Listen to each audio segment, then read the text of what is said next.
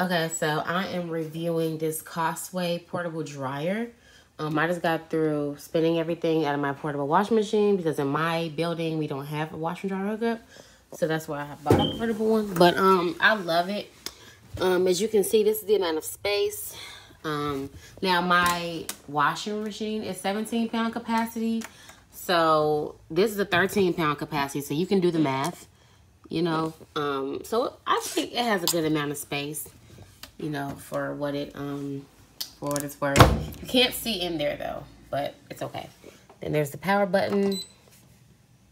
And I want to put it on one hour and 140 degrees. So then I just press that and then press play. Wait a few seconds.